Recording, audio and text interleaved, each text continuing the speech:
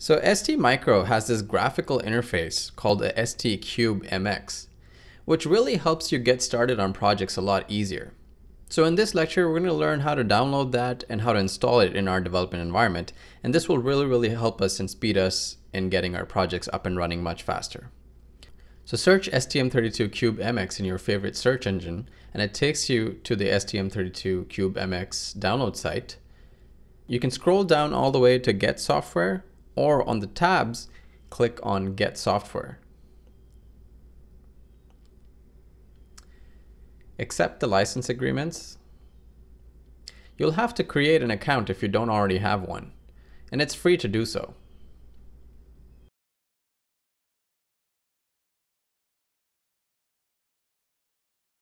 Once you log in, this should download a zip file onto your Linux machine.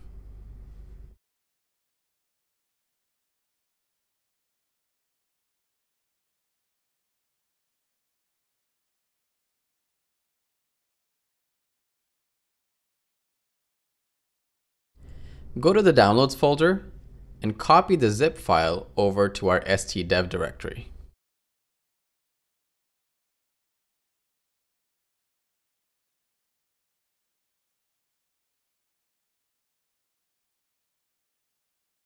If you remember, the stdev directory is where we're going to install all the components of our toolchain.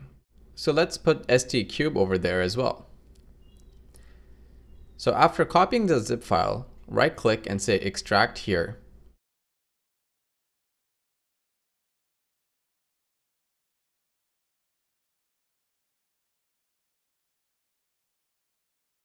After extracting, go into the folder and click on readme.html.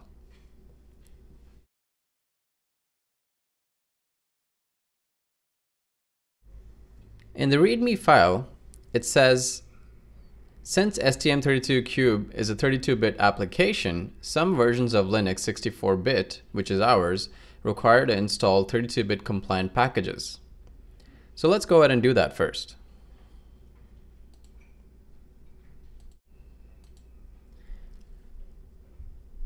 So I'm going to open a terminal window and type sudo apt-get update first to update our application database. Next, I'm going to type sudo apt-get install ia32-libs. Notice how it says package ia32-libs has no installation candidate. However, the following packages replace it. So let's go ahead and install the package lib32z1.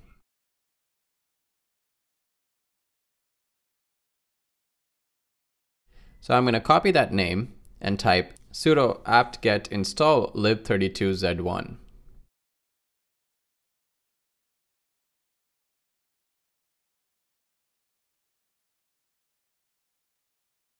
After the installation is complete, open the stdev folder where we just extracted the CubeMX software.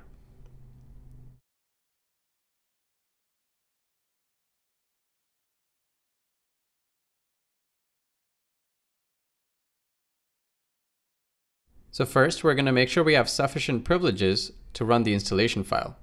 So we're going to type chmod plus x and the setup file name.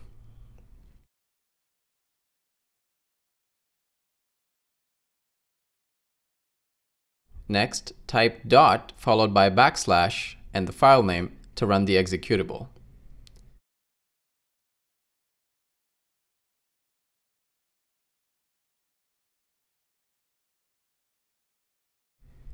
You'll see this runs the installation file.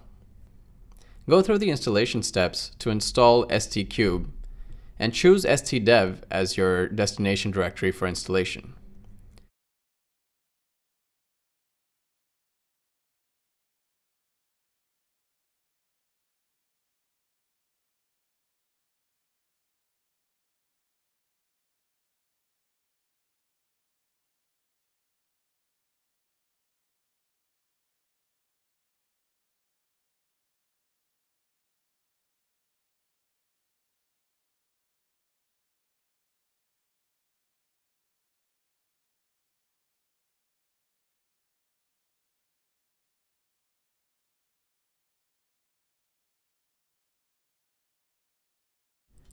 When you're finished, you can now delete the zip folder that we initially downloaded and also the extracted folder which had the installation files. Now I only have the stcube.mx folder inside my stdev directory. Go ahead and click on the executable to open stcube. In the following videos, we're now going to use stcube to get started on projects.